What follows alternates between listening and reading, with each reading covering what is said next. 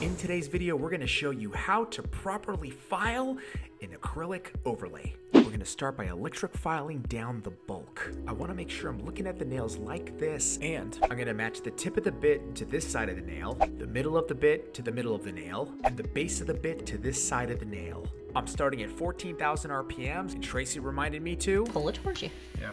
I've got to pull the file towards myself in one direction. I also noticed the E file is. It's very gentle, actually. Oh, I see.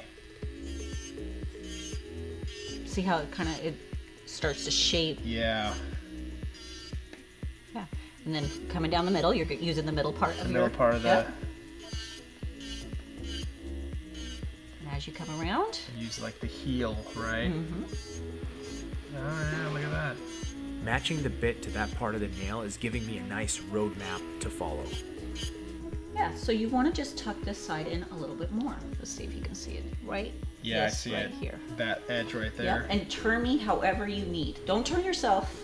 Don't make yourself uncomfortable. I got you. Trying not to get so obsessed with filing and filing and filing. I just want to make sure I get the right shape taking down that bulk. Super key. The rest will just will come up the sides with the fi- hand file. Okay. Shape it with the oh, hand I file? see. So this is just I'm just taking bulk down, Yeah. right? The heavy duty stuff. The refining will be with the hand file. So same deal here. Same deal. So you're not going to have to do a whole lot to that. It's really the middle part, right? Mm-hmm. But you can see by using that zones or the front, the middle, the back, you're kind of creating that arch Yeah. that nail. Yeah, it's it's that nice uh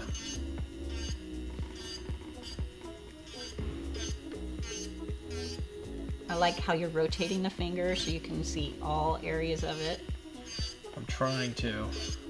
I really am trying to, and if you're a beginner like me, you know exactly what I'm talking about. Sometimes it's hard to see, you know, but I'm just trying to follow that method and get it done. It's hard for me to tell. Yeah, But I what- would come what- down that what- side a little bit more. Okay. So look at it. You see what I'm talking about? Just a little thickness Yeah. through oh, here. Oh yeah, okay. I mean, we could do it with a hand file, but electric file is going to be much much faster, and you can literally come down the side. Positioning the bit perpendicular to the side of the nail like this was massive. It really allowed me to file the sides properly. Oh, I see. There you go. See the difference? Oh yeah, yeah, yeah. On this side, you can literally Like that. Oh yeah. use that back end.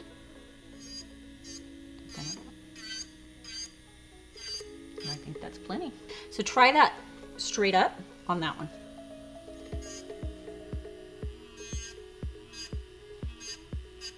Oh yeah. See? yeah. Big difference, right? Yeah, yeah, yeah, yeah. Oh wow. It really yeah, that's a huge difference. It looks like a nail. It looks it actually looks like a nail now. Yep. Like it's not coming sticking out on that side. Yep. And you can use the back end on that side.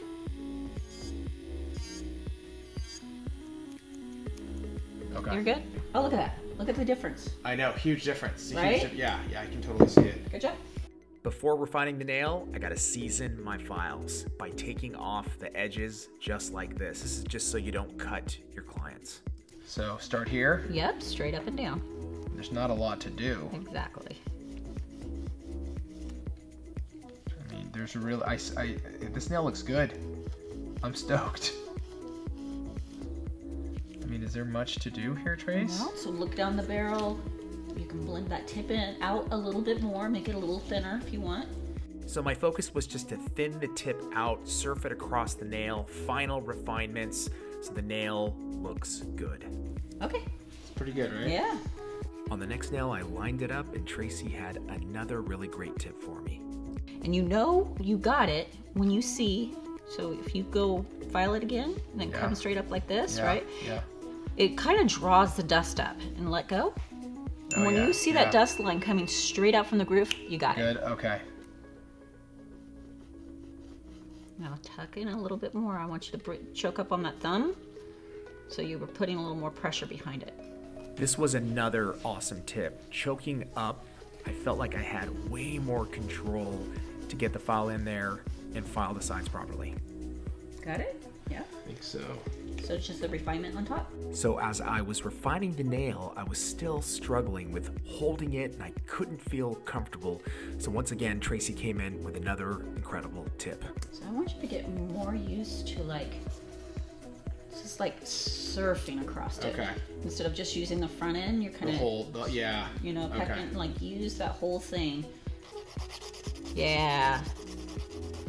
And you just put more pressure where you need to take something down, you lighten it up through, and that just blends everything in. This was really big. I felt so much more comfortable now surfing across the nail. Dust on the nail is very deceiving, so I decided to take some swipe and remove it so I can get a better look at the nails. Free edge, shape it. Yeah, free edge a little bit. Mm-hmm. It's a little. The free edge just needed some slight touching up, but overall, I think I'm almost done. Last thing you want to do is you want to look at it from my point of view. I actually couldn't believe that this view made a huge difference, but looking at it from the client profile, I could see an additional sort of like bulky area, and I was able to take it down and smooth out. This looks good. Yeah, I will. That one looks good. Saw exactly what I was seeing. Good job. Here's the final look. Let me know what you guys think in the comments below. I would love your feedback. We're giving away a free nail zoom class. Subscribe and comment below to enter.